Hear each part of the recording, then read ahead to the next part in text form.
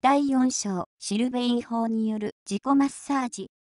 シルベインは気候法の一種で徹底的に自分で自分の全身をマッサージする方法です。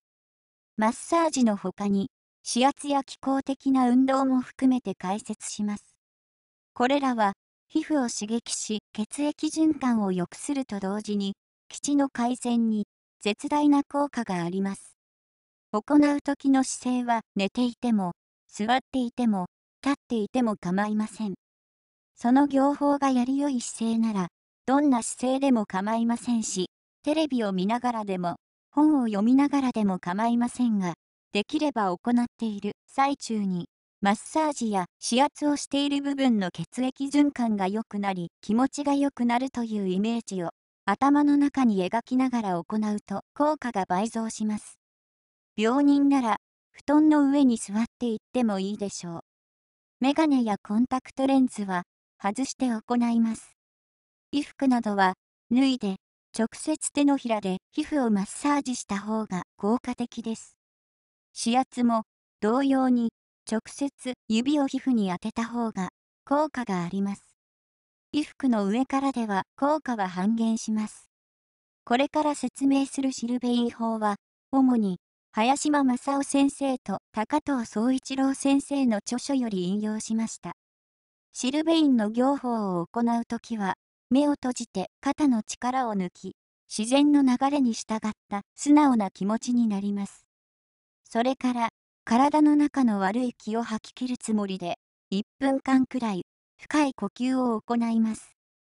上半身の力を抜いて両手のひらを合わせ、暖かくなるまでこすり合わせます。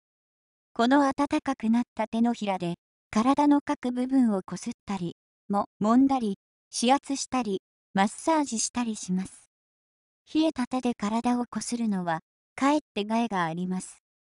こすり合わせると言っても、適度にしてください。気候のところで解説したように、手からは気が放出されており、この気のエネルギーで、全身の皮膚の血液循環を改善し、基地の巡りを良くするのだという気持ちで行ってください。ゆったりして、体をろを割るようなイメージで行ってください。せかせかと慌てて先を急いだりすると効果がありませんし、後で皮膚が痛くなったり赤くなるようではやりすぎです。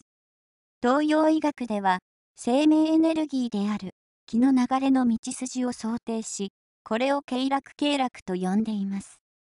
西洋医学でも人体の皮膚表面の電流の流れ方を調べた結果、電流の流れやすいルートが存在することが証明されており、これを両シルベからまと呼んでいますが、その精密さは、東洋医学の経絡には遠く及びません。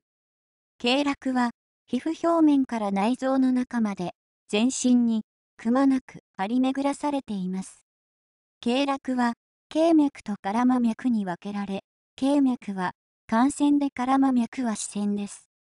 経脈は、十二経脈、十二経別、気経八脈に分かれ、絡ま脈は、十五絡ま脈、孫絡ま、浮き絡ま、死絡まに分かれます。東洋医学的病院論では、この経絡上を気が滞りなく流れていれば健康ですが、種樹の原因で気が流れていない滞る状態になると、気の停滞が血の停滞を招き、それが基地の乱れとなり、病気になると考えられています。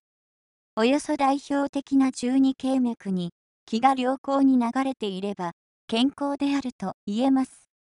中二経脈の気の流れはテタイン背景、手陽明大腸系、足陽明系、足体陰非系、手小影心境、手太陽小腸系、足太陽膀胱系、足小影人系、手血影心包み系、手小陽像焦げ、系、足小飛炭系、足血影関係と流れ再び手体陰背景と戻り循環します。この他に、気形八脈があり、気形八脈まで完全に気が流れていれば、超健康な東洋医学の経脈の図。オイズ長寿に近い状態であると考えられていますが、現代人ではここまでの人はほとんどいないのが現実です。東洋医学的な考え方では、種樹の原因で経絡上に気が良好に流れなくなる状態が病気です。病気の際に気が流れにくく、停滞しやすい場所が経血すなわちツボです。この経血を刺激することにより、気の流れを改善して、そのツボにつながっている経絡から内臓へ刺激を与えて治療を改善し病気を治療するのが、針や球や指圧などの治療原理です。今に至るも、民間で針灸が広く行われているのは、この治療効果が現実に人々の間で認知され支持されていることを示しています。肩こりや寝違いや軽度な腰痛などでは、針灸の効果は絶大と言えます。中国では、針の鎮痛効果が、手術の麻酔にかなり用いられています。針麻酔は、中国来産ムードが盛り上がった時期に流行しましたが、日本の病院ではほとんど用いられていません。大きな手術では、針麻酔の効果は不安定で実用にならないからです。針灸や指圧だけでは限界があり、万病に有効というわけではありません。癌を針灸や指圧だけで完全に治癒させることは無理にしても、基地の巡りを改善して自然治癒力を増強し、癌を治癒させる一手段として有用です。代表的な、経血すなわち、ツボについても示します。なお、回数は、おおよその基準を示しただけですので、あまりこだわる必要はありません。あくまで気持ちの良い範囲で行えば結構です。A 手の行法。はじめに手のひらの摩擦から行います。手のひらが温かくなるまでこすこすり合わせます。昔からもみもみでと言い、よく商人が手を揉みながら客と話している場面などを時代劇で見かけますが、これなどは手を揉んで頭の回転を良くしていると言えます。手にはツボがたくさんあり、手を揉むだけで全身の基地の流れが良くなります。この手揉みの業法は、手を使う仕事をしている最中でなければ、暇がある時はいつも行うようにするといいでしょう。一両手のひらを、お参りの時の要領で合唱してこすり合わせたり、おむすびを握るように握り合わせて揉みます。ある程度、手のひらが温かくなるまで行います。気候のところで紹介したように、手のひらから温かい気が出ているのが感じられるまで行います。2手の甲と手のひらをこすり合わせます。左右交互に温かくなるまで行います。3親指と人差し指で、他方の親指の先端の側面を軽く握り、水しるべ線をひねるように、指先から指の根元まで順に30回くらい揉みます。このように、親指、人差し指、中指、薬指、小指の順に揉みます。左右10本のすべての指を揉みます。指の側面に血管が走っているので、指の血液循環が良くなります。翌週、四手のひらの真ん中、心包み系のローミアというツボを、他方の親指で、ゆっくり30回くらい揉みます。ついで、手の甲の親指と人差し指の付け根のところ、大腸径の合谷というツボを他方の親指で30回くらい揉みます。午前腕の力を抜き、手首をブラブラにして上下に振ります。リズムをつけて、だんだん早く振るようにします。30回くらい行います。さらに手首を回すようにも振ります。B 色の行法、手が十分に温まったら、次に足の行法を行います。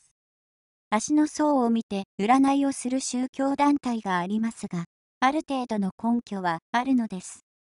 不健康な人の足は、例外なく悪臭がして汚く、水虫ができていたり、爪の生え際にゴミが溜まったりしていて、触りたくもない感じの不潔な足が多く見られます。足が汚れている場合は、まず、水か湯で足をきれいに洗ってから行法に入ります。足の裏の皮膚があまりに硬くなっている場合は、毎日風呂に入った時、軽石で足の裏の硬いところをよくこすってある程度柔らかくします。足もみの行法は、いつも暇な時に行うように習慣つけるといいでしょう。テレビを見ながらでも本を読みながらでも、乗り物に乗っていても、手足が自由に使えれば足もみはできます。揉めば揉むほど効果があります。一両足を伸ばして座り、右足を左大腿部に乗せ左手の平らで、右足の裏全体をこすります。足の裏全体がポカポカ暖かくなるまで行います。次に、左右の足を変えて同様に行います。小座を書いていても結構です。2手の人差し指と親指で反対側の足の親指の横の部分を水道線をひねるような要領で指の先から指の付け、毛根まで30回くらい揉みます。第1指から第5指まで順に30回くらい揉みます。左右の足を変えて同様にこういます。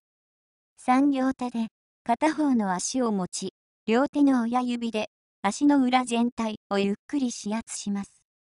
足の裏の真ん中の柔らかい部位に、U 泉という人形のツボがあり、腎機能を良くする効果があります。また、足の兜では、足指の骨の間のくぼんだ部分を、人差し指から小指までの4本の指先でよく指圧します。足の兜には、多くの重要なツボが分布しています。4右足の足首を右手で握って固定し、左手で右足先をゆっくり回します。前回、離と後ろ回りに30回くらい回します。左右の足を変えて同様に行います。5両足の第1指と第2指をビンビンと音がする意に引き合わせます。はじめはゆっくりでもいいのですが、慣れたらなるべく早く100から200回くらい行います。6足の裏と手のひらを握り合わせて握手のようにします。右手なら左足、左手なら右足と握手します。足の親指と人差し指の間に、手の人差し指を、足の人差し指と中指の間に、手の中指を、足の中指と薬指の間に、手の薬指を、足の薬指と小指の間に、手の小指をそれぞれ組み合わせて、手の指で足の指を握りしめて、足の指を開くようにします。